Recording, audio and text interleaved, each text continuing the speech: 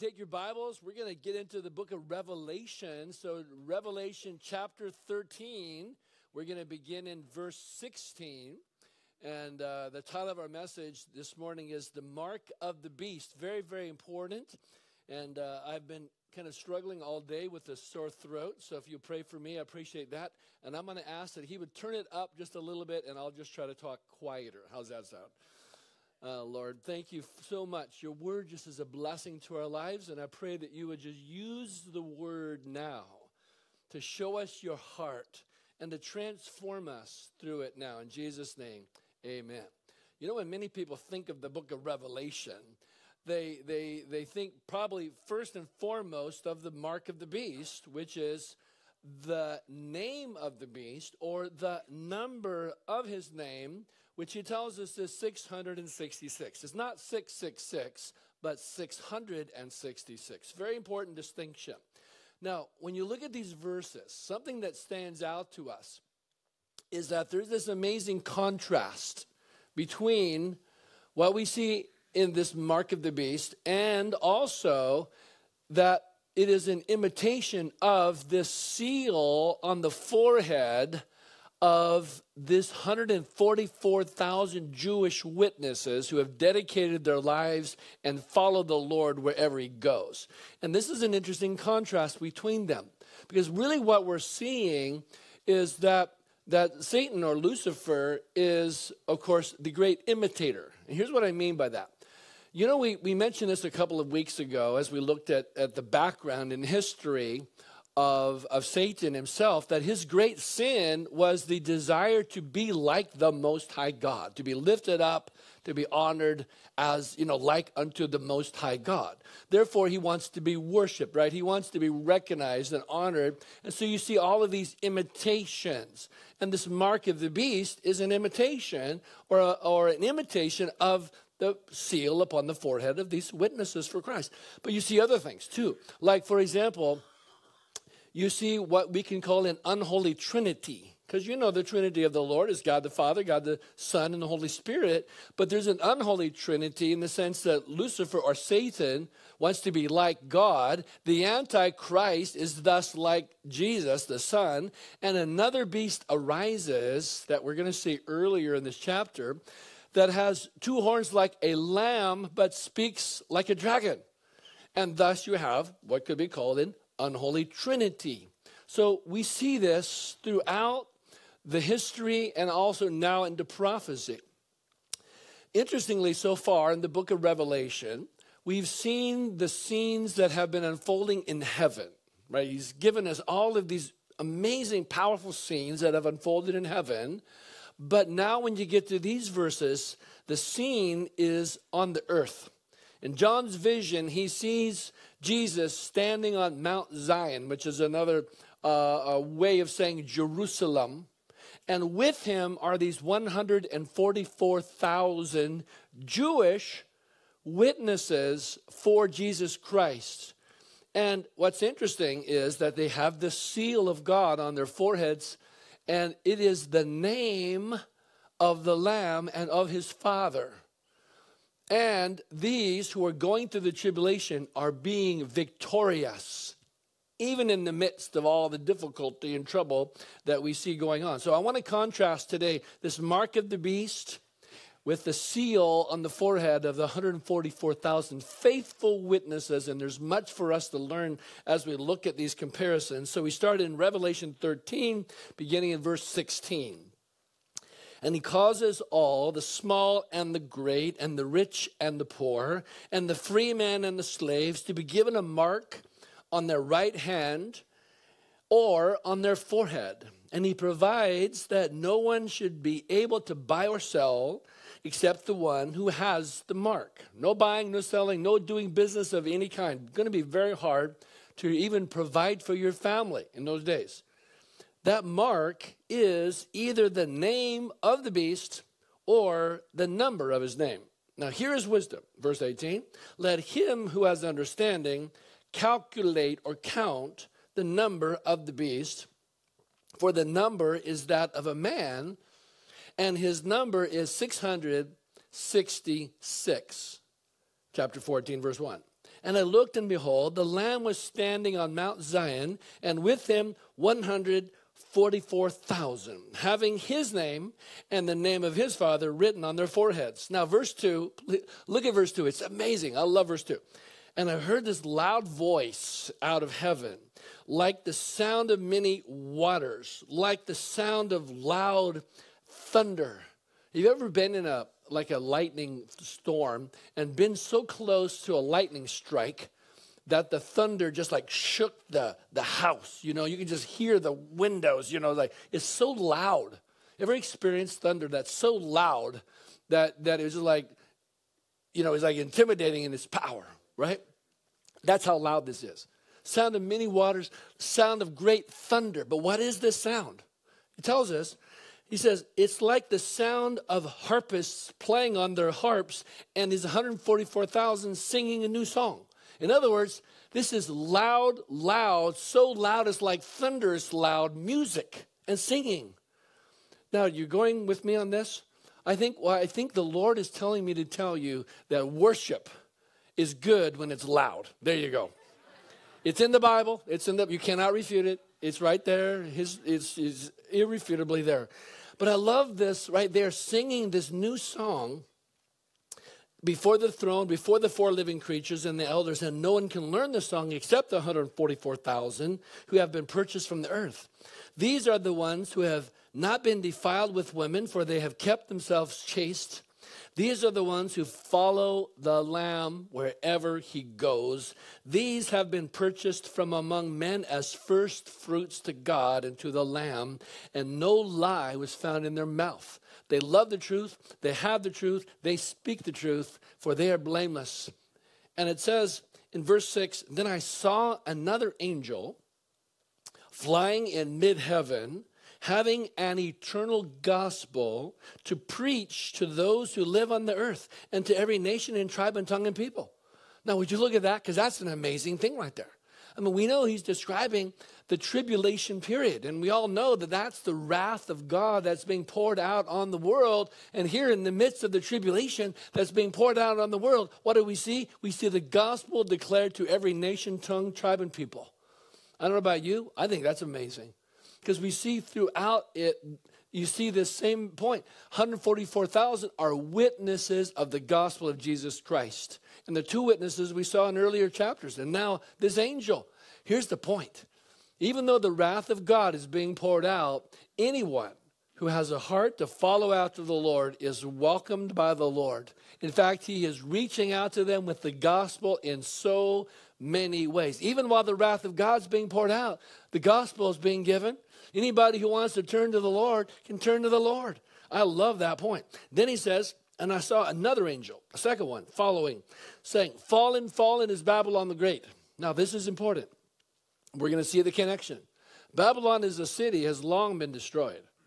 But he's bringing Babylon into this because of the symbolic nature of what the point is. And you're going to see this in chapters that are coming up soon.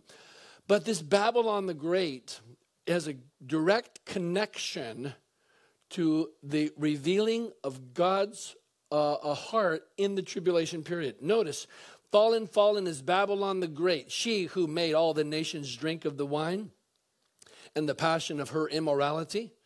And then another angel, a third one, followed them, saying with a loud voice, If anyone worships the beast and his image, and receives a mark on his forehead or upon his hand, he also will drink of the wine of the wrath of God, which is mixed in full strength in the cup of his anger. All right, these are the verses I want us to look at, comparing and contrasting this mark of the beast that is on the right hand or forehead of those in the world, and the seal on the forehead of these witnesses who have the name of the Lord and of his Father.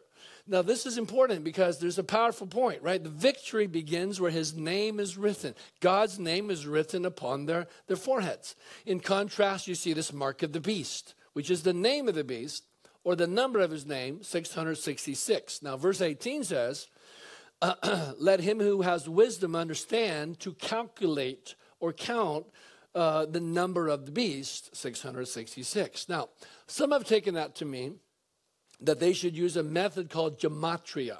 Gematria is from a Greek word, uh, same root as the word geometry, which means to calculate or to count. And the process of gematria is uh, taking names and words and then finding the numeric value of those names or words by adding the values of those letters together and uh, coming up with a calculation of the number, right? And we we have uh, numbers that have values uh, today, you might say, because we use Roman numerals, and Roman numerals are that very thing, letters, but they have numeric values. Like for example, uh, the Super Bowl is coming up, right? This is Super Bowl 52 right? This is coming up. The Super Bowl that's coming up now. That's the one that's coming up in February. You know the one? That's the one where the Eagles are playing the Patriots. That one. Yeah, that one. Um, 52 is L I I. So we see that letters, even today, have numerical value. Now, in the ancient Hebrew, in ancient Greek, not modern Greek, but ancient Greek, did the same thing. Now, we could use gematria in English if we took, let's say, A to equal 1, B to equal 2, C to equal 3, D to equal 4, like that. And then we could uh, take our names and calculate the value of those names, right? Just for fun, I did that. And my full name equals 966. I thought you might be interested to know that it uh, is not anything else but 966. now, the point being here the, is that using this method, the problem with using this method is that many names come up to 666. You can actually get many names to do that. Um, for example, in the first century, many made much of the fact that Caesar Nero, his the value of that name came up to 666. So thus some were saying, ah, you see, Caesar Nero must have been the Antichrist. Problem with that is he died 30 years before this, so that didn't work. Uh, in the Middle Ages, some of the reformers often taught that the Catholic Church or various popes showed the value of their names to be 666. The Catholic Church didn't appreciate that. And so they shot back, showing that the numerical values of Martin Luther's name was 666. So there you go.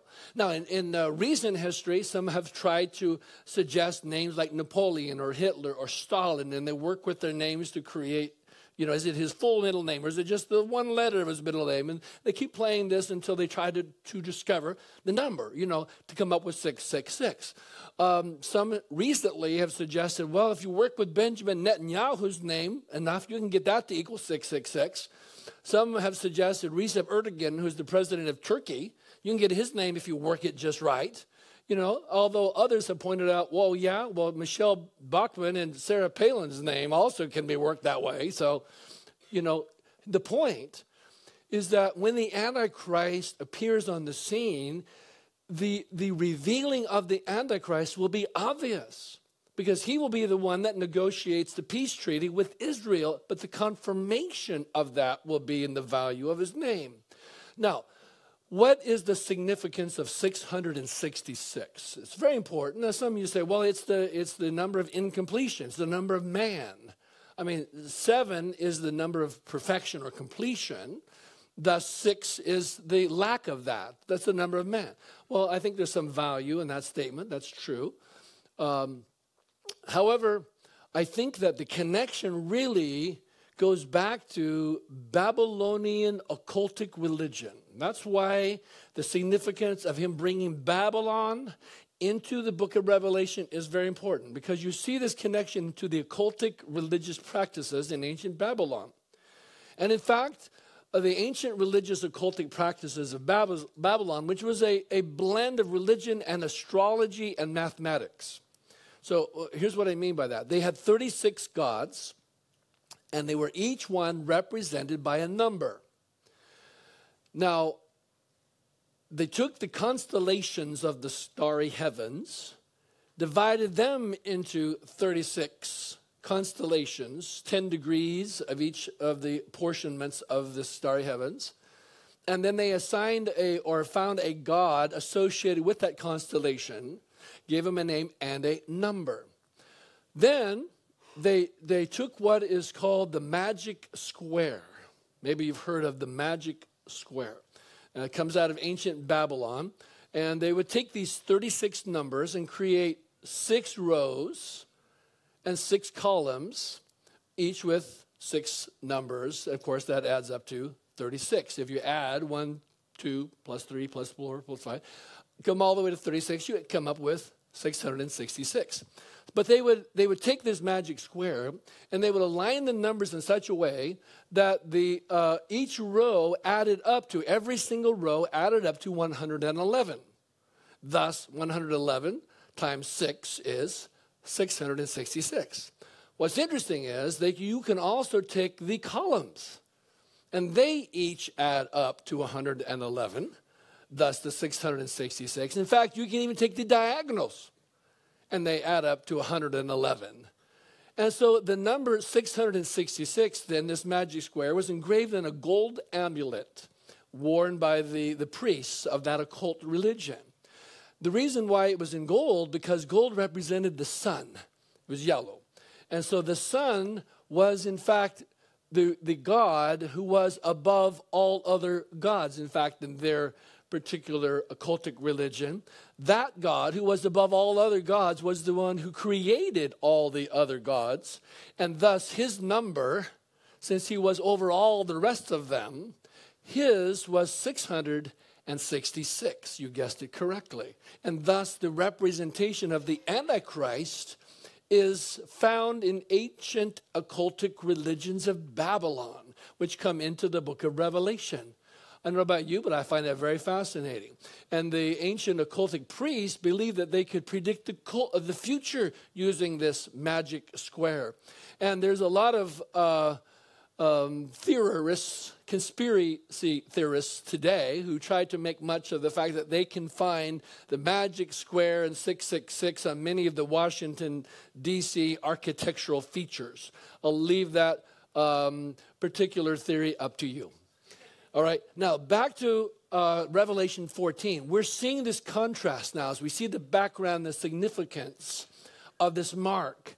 But the, the significance of the fact that it is upon their forehead must not be missed because of what it represents.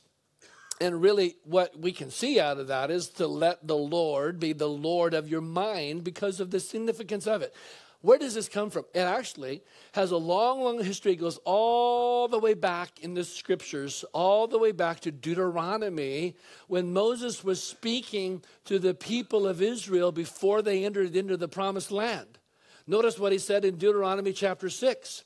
You shall love the Lord your God with all of your heart and with all of your soul and with all of your might. Now, that's very important, as you might know in Scripture. That's one of the high points of the entire Bible. And in fact, Jesus was asked at one point, What is the foremost, the greatest uh, that God has ever spoken to us? And what did he answer? Right from Deuteronomy You shall love the Lord your God with all your heart, soul, mind, and strength. How important is this? He says, This is so important. I'm still in Deuteronomy 6. These words, which I'm commanding you today, shall be on your heart, and you shall teach them diligently to your sons. And you shall talk about them when you sit in your house, and when you walk by the way, and when you lie down, and when you get up, which is pretty much a lot of the time. And then he says, You shall bind them as a sign on your hand, and they shall be as frontals on your forehead.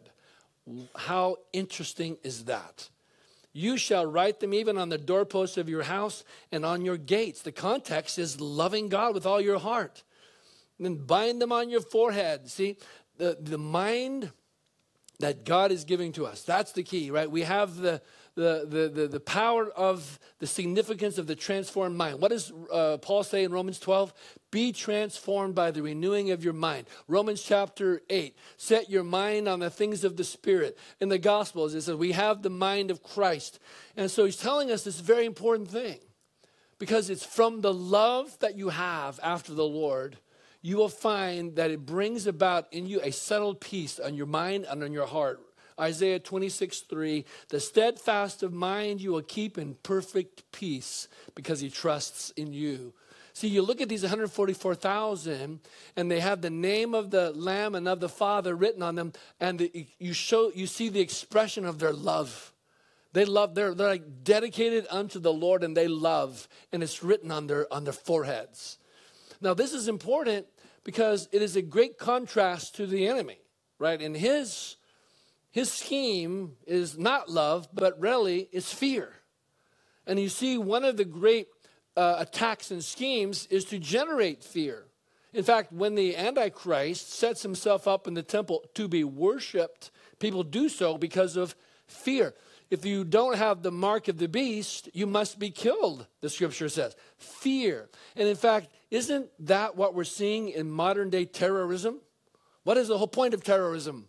Isn't it not to strike fear and terror into the peoples in which that sort of thing is inflicted? That is the enemy's scheme right there. But what does the scripture say? It says, God has not given us a spirit of fear, but of love power, and a sound mind. God has not given us a spirit of fear. Fear is of the enemy. Fear is that control. In fact, you look at the occultic religions and witchcraft, even, and it is fear by which they control the people that fall under those, quote, spells. And so, God has not given us a spirit of fear. Perfect love casts out fear, John wrote in another place. God wants us to recognize the significance of this. It's love. What is the fruit of the Spirit told to us in Galatians chapter 5? The fruit of the Spirit is love. That's the first and foremost. And of course, there's joy and peace and kindness and all the others. But the first and foremost is that the work of God is that you love. And the, the result of that is peace in the heart. I was thinking of uh, a time in Hillsboro when this fellow came in, uh, no appointment, just walked in the doors and asked if he could speak to a pastor. And I was available, so I sat with him, and he was an Iranian fellow. So I said, uh, Nice to meet you. What can I do for you? And he, and he said, I'm Muslim. And uh, I said, Well, it's nice to meet you. I'm glad you're here. What can I do for you? And he said, I have come from Iran. I've only been here a few months. And I am tired of a God of hate. Talk to me about a God of love. Now, that was a beautiful conversation. And in fact, we got to baptize him in our own baptistry in Hillsboro just a few months after that. Amen. God uses love. See, this is important. Write this on your heart. Write this on your mind. And then he shows us this in Revelation 14. You see such a powerful thing. These 144,000 witnesses, you see them worshiping, right, in this loud song. And, and I love the fact that there is power in praise. There's, he's making a lot of it. You know, there's worship in heaven. We're going to be worshiping a lot in heaven. You see so many evidences of worship, the song that's alive. See, now the Antichrist will set himself up to be worshiped in the temple and honored there. It's only by fear. But these 144,000, they worship because of love, because their hearts are stirred up. It's a new song. A new song in Scripture is always good. It's a declaration of praise and rejoicing. Psalm 98 1 is like another place. Oh, sing to the Lord a new song, for he has done wonderful things. His right hand and his holy arm have gained the victory for him.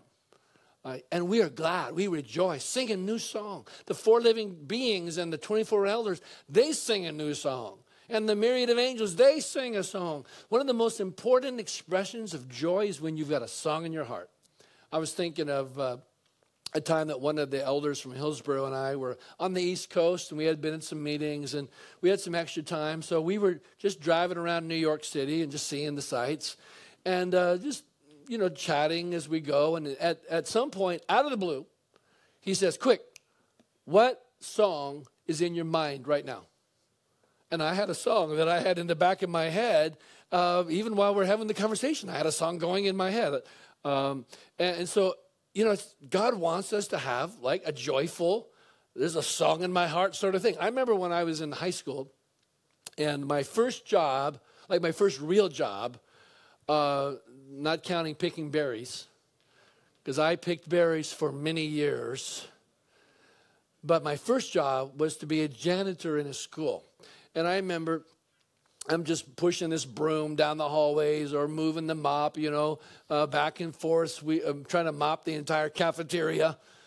And, uh, but I'm whistling, right? Because during the weekends, I, I, was worshiping, I was leading on my guitar at this little tiny country church. And, and, and at school, I'm pushing this broom or doing the mop and I'm whistling these worship songs because God wants a joyful expression in our hearts of, of, of joy. We're going to worship in heaven. We might as well start right now. And there's a joy that comes from us that stirs us up.